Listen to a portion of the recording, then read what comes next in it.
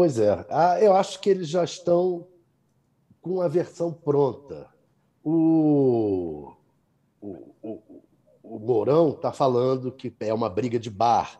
O Ricardo Barros falou para mim, eu publiquei também, ele dizendo que é como se fosse uma briga de trânsito. Um sai para pegar a arma e volta, e não é uma coisa planejada, é uma explosão.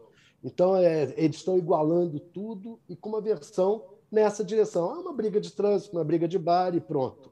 É, é o que você falou. É preocupante lideranças minimizarem um fato desse. Na verdade, o, o, tem duas posturas nesse caso. Uma é de minimizar e a outra é de colocar isso como resultado da polarização política. É, isso não é resultado da polarização política. O PT e o PSDB tiveram eleições polarizadas durante 20 anos e não houve tiroteios.